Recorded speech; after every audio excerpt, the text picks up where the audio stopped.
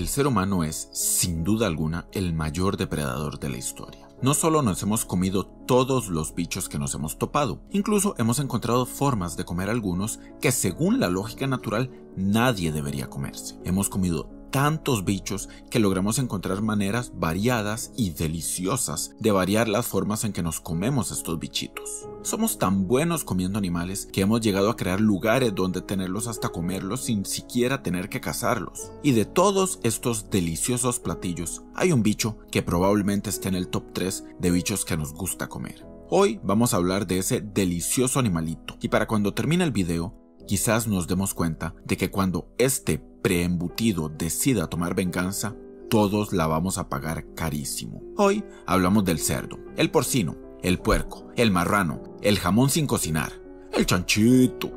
El cerdo es un mamífero de la familia de los Suidae, en la que está cualquier bicho que usted vea y diga, ¡ay, vea ese chancho! Entre ellos tenemos a un montón de jabalíes, los facoqueros, que son los jabalíes africanos de los que sale uno de los personajes de Disney que nos enseña que un hijo adoptado por una pareja homosexual puede triunfar en la vida, además del de más mierda del mundo, el babirusa. Pero volvamos al que sí logró todo en la vida, el chancho. El cerdo doméstico es originario de Asia y Europa, pero es tan delicioso y fácil de cuidar que ahora está en todos lados, desde Australia hasta su refrigerador. Su nombre científico es Sus scrofa domesticus. La palabra sus viene del latín y quiere decir cerdo. La palabra scrofa quiere decir cerda. Así que felicitamos a los chanchos por ser de los poquísimos animales cuyo nombre científico es inclusivo. Chancho chancha.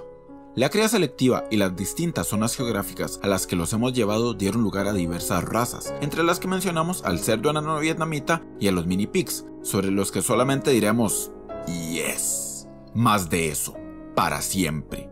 Entre sus características principales tenemos sus pezuñitas, su rabito, su piel resistente que posee glándulas sudoríficas relativamente pequeñas, y siendo un animal que no jadea es lo que los obliga a tomar baños de lodo o agua. Así que si usted alguna vez ha dicho estoy sudando como un cerdo, no le da vergüenza ser tan ignorante e insultar a los pobres chanchos. Esas expresiones son una cochinada.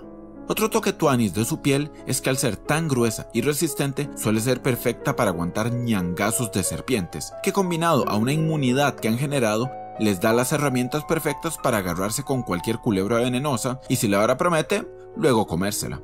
Otro toque clásico del chancho es su hocico. Ellos tienen un sentido del olfato excelente, alrededor de 2000 veces más pichudo que el de los humanos, que son ultrapaques. Tener una cantidad brutal de receptores olfativos les permite rastrear incluso cosas como hongos bajo tierra que luego desentierran con el mismo hocico. Al no tener manos ni garras, el chancho convirtió su hociquito en la pala más adorable que el mundo haya visto.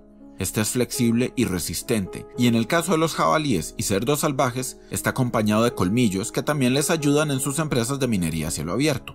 Su olfato es clave para la socialización. Ellos tienen nueve glándulas distintas para emitir olores, que son importantes para la competencia entre machos y los rituales de cortejo, entre otras. O sea que mientras un hombre humano se compra un carro, el chancho macho huele feo. La tercera característica distintiva de los cerdos es su inteligencia. Es bien sabido que los chanchos son fucking genios. Los compas mejenguean, pueden entender lenguaje simbólico sencillo, tienen estructuras sociales complejas, incluso pasan el test del espejo, un test que mide la inteligencia de los animales, averiguando si son capaces de reconocerse en un espejo. Los chanchos no solo lo logran, sino que pueden usar un espejo para encontrar comida que está escondida. Pueden resolver laberintos complicados, lo cual les es fácil porque pueden sentir campos magnéticos, lo que les da un sentido de la orientación a cachete, mi tata.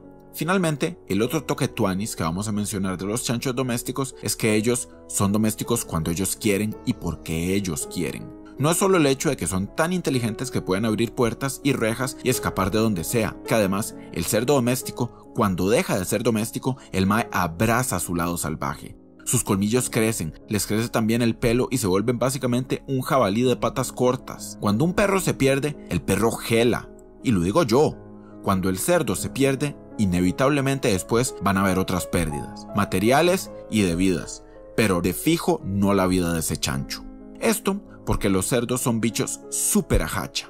Al igual que los tejones mieleros, estos compas no le temen a nada. Probablemente la mezcla entre poder comer lo que sea y poder ser comido por quien sea vuelve a estos bichos fieros como pocos. Es de hecho bastante más mortal toparse con un grupo de cerdos salvajes en un bosque que con un puma. Y es desde pequeños que aprenden a hacer hacha. Los cerditos nacen con dientes desarrollados y apenas nacen hay una competencia fiera por las tetas de la madre. Es normal que un bebé le deje cicatrices a otro o incluso lo mate nada más para agarrar un poquito de calostro. Estos bichillos nacen listos para la street. Y el ser humano lleva siglos sabiendo lo mortales que son los chanchos.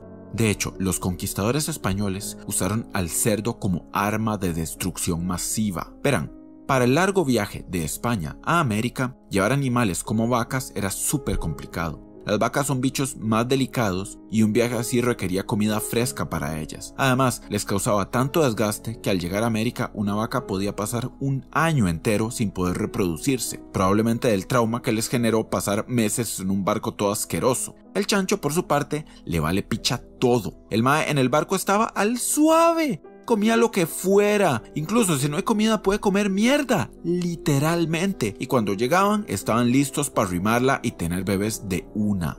Eran tan adaptables que los colonos solían dejar una pareja en alguna isla de las Antillas de camino a América y cuando regresaban pasaban y ese vergazo de jamón por toda la isla. Los conquistadores andaban cerdos para arriba y para abajo y además de todo son semilleros de enfermedades, por lo que si un conquistador no quería luchar con una tribu indígena, muchas veces les mandaba un poco de chanchos que los contagiaban de un montón de cosas y boom, no más tribu. Fucking chanchos más cerdas, mae.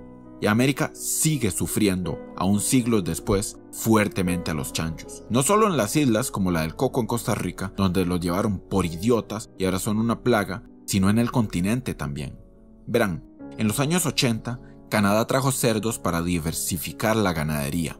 Cuando la demanda bajó, los granjeros simplemente liberaron a esos chanchos que se empezaron a reproducir en estado salvaje, mezclándose y creando un híbrido del cerdo doméstico y jabalíes que ha sido imposible de detener y que ahora llaman super cerdo. Rudo y adaptable como un jabalí y fucking enorme e inteligente como el chancho doméstico.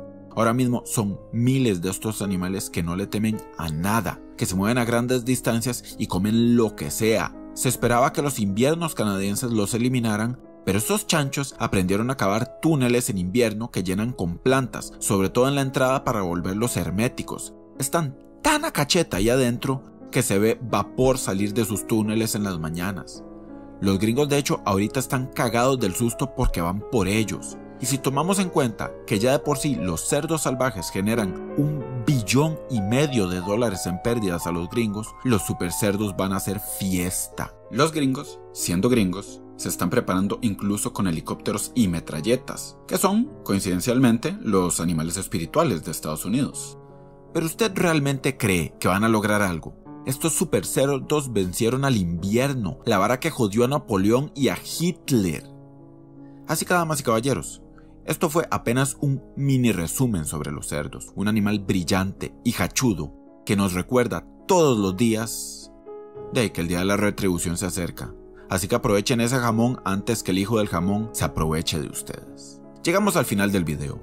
Gracias por supuesto a los tejones legendarios. Noelia Anderson, Juan José Sierra, Edwin Hernán Hurtado, Eduard Soto Vargas, Aaron Coronado, Ken Caldi, L.R. y Godzilla Crack Siglo X. Como siempre, mi total agradecimiento a las fuentes de las que saqué los videos que en ninguna forma me pertenecen. Hoy les recomiendo un canal de historia llamado Extra History, con su video Hawks in History, Creator and Destroyer. Recuerden mantenerme con los toques como dar like, compartir, comentar, hacerse miembros y recordar que el problema no es el consumo de carne sino las condiciones de vida que les damos antes de consumirlos. Yo fui Perrillo y ustedes la más hachuda de las piaras. Bueno, me fui.